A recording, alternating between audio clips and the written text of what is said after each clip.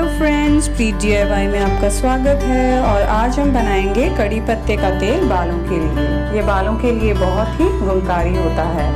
तो यहाँ पर मैंने कुछ कड़ी पत्ते लिए हैं, इन्हें मैंने अच्छे से धो लिया है और फ़ैन की हवा में ही हम इसे सुखाएँगे। हमें इन्हें धूप में नहीं सुखाना है।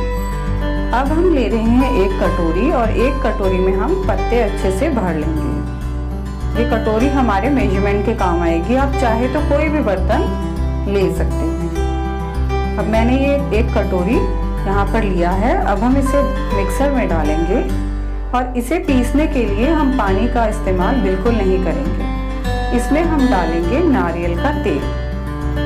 जितना भी हमें इसे अच्छे से पीसने के लिए नारियल का तेल चाहिए, हम उतना यूज़ कर सकते हैं। मैंने यहाँ पर एक कटोरी पत्ते के लिए तीन चम्मच नारियल का तेल लिया है।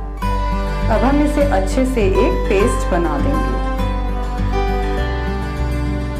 पेस्ट हमारा रेडी है। आप देख सकते हैं, काफ़ी अच्छे से पिस गया है ये। अब चाहें तो नारियल तेल और भी डालकर इसे और बारीक पीस सकते हैं। अब इसे तेल को बनाने के लिए हम एक हैवी बॉटम बर्तन लेंगे। इसका बॉटम जो है वो ठीक इसलिए होना चाहिए क्योंकि जब हम ये तेल बनाएँगे तो इसमें हमारे जो पत्ते का मिक्सचर है, वो जलना नहीं चाहिए। तो इसलिए ये थोड़ा मोटा होना चाहिए।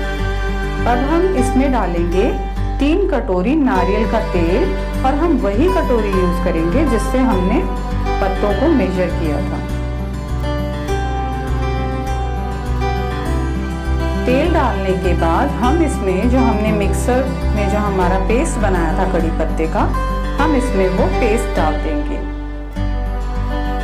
और ये जो भी हम तेल बना रहे हैं, ये हमें बिल्कुल लो फ्लेम पे बनाना है।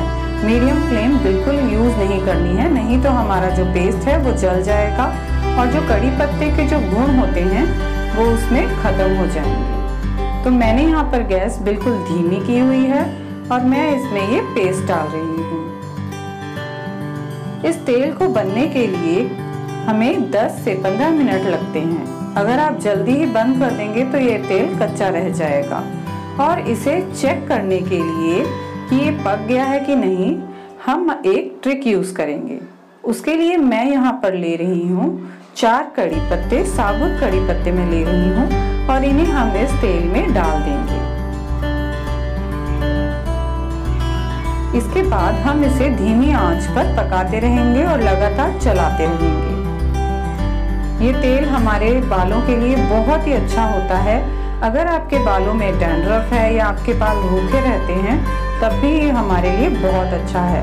और बाल लंबे करने के लिए तो ये तेल काफ़ी यूज़फुल है।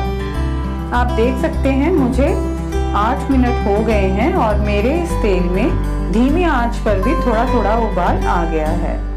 अब इसे चेक करने के लिए कि ये पका है कि नहीं। हम जो हमने साबुत पत्ते डाले थे हम उसे निकाल लेंगे।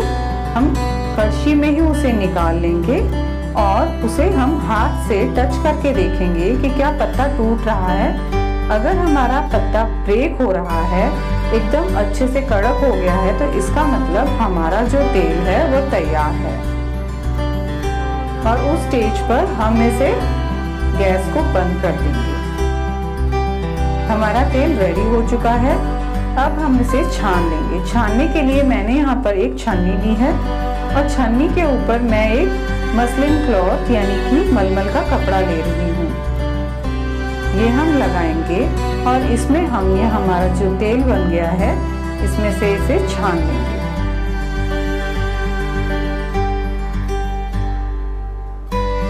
तेल आप अपने बालों में हफ़्ते में दो बार लगा सकते हैं और लगाकर इसे एक घंटा रखने के बाद आप वॉश करें तो आपको इसके बहुत ही अच्छे लाभ मिलेंगे।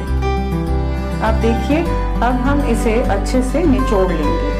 कपड़े में हम इसे बांधकर अच्छे से इस ऑयल को निचोड़ लेंगे। आप देख सकते हैं कि ऑयल का जो कलर है, वो बहुत ही अच्छा ग्रीन कलर आया है। अगर हम तेज़ आँच पर तेल बनाते हैं तो उसका जो कलर है, वो पूरा खराब हो जाता है और ऑयल के जो गुण हैं, वो भी नष्ट हो जाते हैं। तो आप याद रखिएगा कि बिल्कुल धीमी आँच पर हमें ये तेल बनाना है। अब हम इसे पूरा अच्छे से निचोड़ लेंगे और जो हमारा जो ये वेस्ट बचेगा, इसे हम फेंकेंगे नहीं, इसे भी हम यूज़ कर सकते हैं।